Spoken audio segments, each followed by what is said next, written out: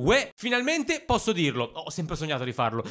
Questo video io non lo volevo fare! No, ma davvero, eh, nel senso, in realtà volevo fare un video sui vaccini anti-influenzali, come suggerito da qualche iscritto, solo che poi mi sono reso conto mentre lo facevo che i Novax ripetono ancora sempre le stesse cose, semplicemente riadattandole ai nuovi vaccini. Quindi, insomma, anche basta dopo un po', no? Ma proprio quando stavo per gettare la spugna sono finito nel magico loop dei post a tema Qualcuno pensi ai bambini! E niente, ho scoperto un sacco di mirabolanti metodi per torturare e uccidere i bambini. No, aspetta, aspetta, mi è uscito un po' male. YouTube, oh, tira, tira, sul dito da quel tasto ban, non ci provare YouTube. Guarda che io, io i bambini, ti giuro, io i bambini li amo, li adoro. Io passerei ore ad accarezzarli.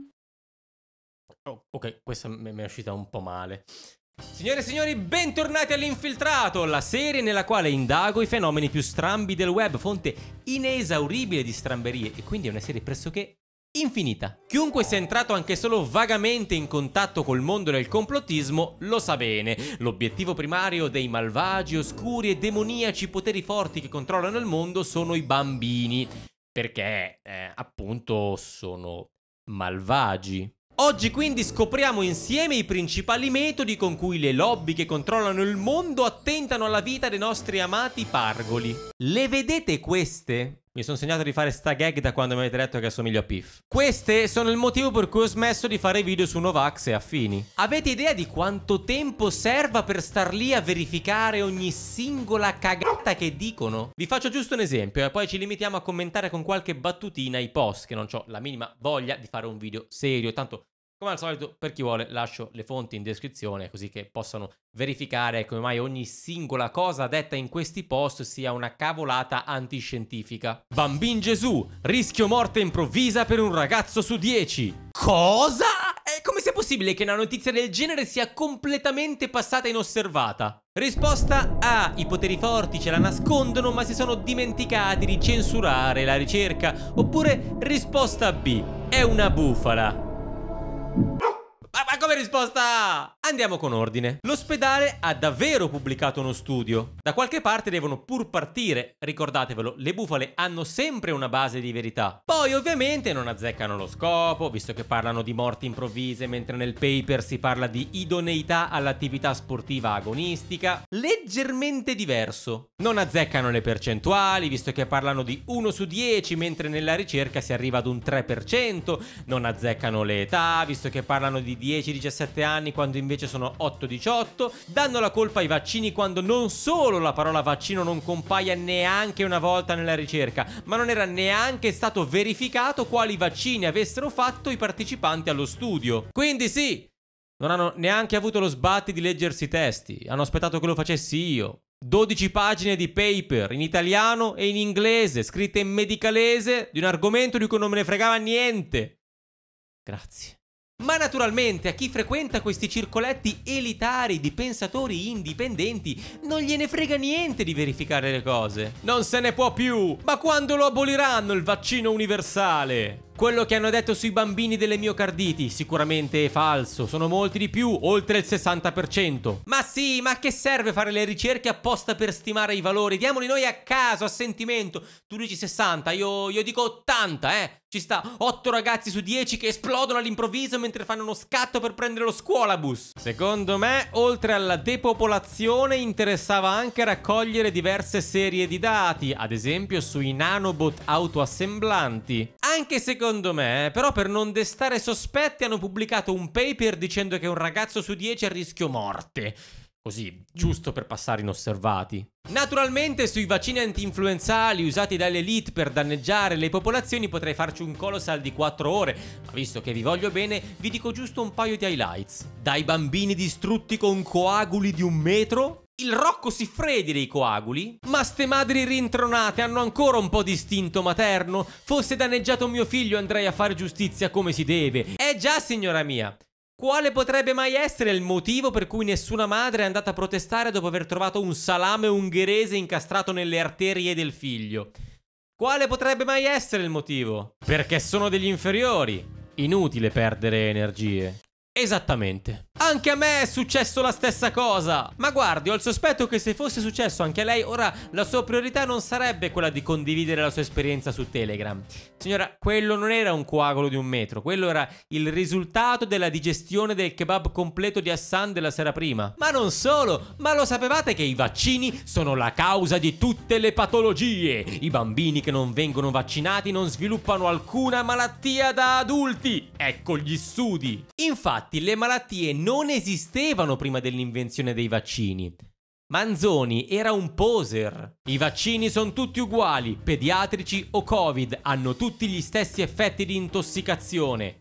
E la storia sarebbe lunga. Ma sì, infatti, a me una volta hanno iniettato l'enterogermina perché i vaccini erano finiti, tutta la stessa roba. Comunque, come vi ho anticipato, i vaccini non sono l'unico meccanismo per fare la bua ai nostri bambini si sono inventati molto di peggio. Lo sapevate che immettono di nascosto il fluoro nell'acqua per renderli più stupidi? E non solo nell'acqua, ma financo nei dentifrici. Maledetti quei famosi 9 dentisti su 10. Quando facevo le elementari a scuola ci davano le compresse di fluoro sti stronzi. Ti devo dire, vi devo dire Forse, forse allora è vero. Noi degli anni 60 siamo stati cavi e inconsapevoli. Ma non vi rendete conto che vi state dando degli ebeti da soli? Anch'io quando andavo a scuola ce le dava ste pasticche di fluoro. Adesso il dentifricio non lo uso, andassero tutti a fanculo. È il grande dilemma, la grande scelta della vita. Essere stupidi o avere la litosi perenne? Ah, menta. Che altro possiamo fargli a sti bambini? La droga. Sì, esatto.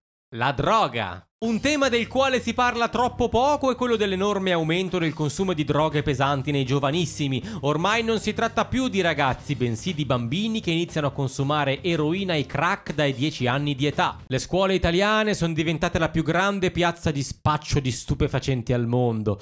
Ormai se entri in una scuola elementare tutti i bambini sono per terra sdraiati con le pere nel braccio. I giovani vengono ormai manipolati volutamente sin da bambini attraverso propaganda, indottrinamento, lobotomizzazione da social, droghe pesanti ed altro ancora. Il fine è poter meglio dominare masse di schiavi. Guarda, effettivamente devo ammettere che se avessi dovuto sorbirmi Peppa Pig di prima mattina prima di andare a scuola, probabilmente anch'io mi sarei drogato, eh. I generi musicali più ascoltati dai giovani non fanno che apologia all'uso di droghe pesanti. Il sistema vuole popoli deboli e la diffusione di tali droghe contribuisce a far ottenere loro questo risultato. Lo sapevo.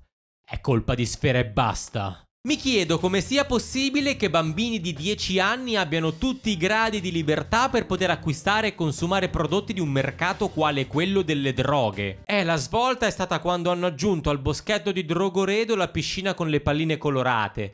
E lì ai bambini poi viene voglia di andare lì per giocarci, una cosa tira l'altra. Una società alienante che nessuno tende a voler migliorare, una scuola veramente promotrice di una società più sana e giusta, già sarebbe un modo per arginare questa deriva. Oh, appena hanno l'occasione per poter appioppare qualche colpa all'istruzione, Subito, eh? Ho amiche insegnanti, alcune dicono che nelle scuole si sta iniziando il modello americano di far spostare gli alunni di aula invece dei prof. Questo movimento dei ragazzi aiuterà, secondo me, il passamano di sostanze da un alunno all'altro, anche per caso. Eh sì, perché è quello il momento di maggior pericolo, eh? Quando passeggiano per i corridoi e rischiano di urtare le siringhe che fuoriescono dalle tasche dei bambini drogati.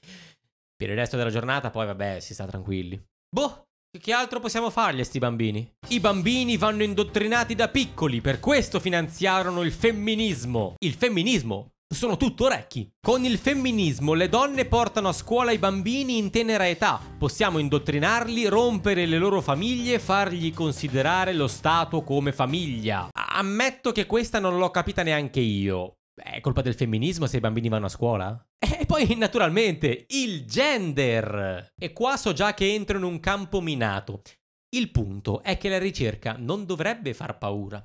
Indagare un determinato fenomeno non vuol dire automaticamente legittimarlo. Se un'università fa una ricerca sulla marijuana, non è che mette su un coffee shop in cui vendere le cannette. Ma loro niente, prendono subito i forconi e cominciano a parlare di pedofilia. E cosa c'entri la pedofilia con la disforia di genere lo sanno solo loro. Università di ingegneria sociale, poveri bambini. Ma io dico, ma se c'è un bambino che si sente a disagio, e non è chiaro il motivo per cui si sente a disagio, servirebbe appunto una ricerca per chiarirlo, ma non è forse un po' più violento mettere su un baraccone in cui gli si fa pensare che tutti vogliano stuprarlo piuttosto che fare una ricerchina? Chi decide che un bambino di 5 anni è trans solo perché gioca con la bambola?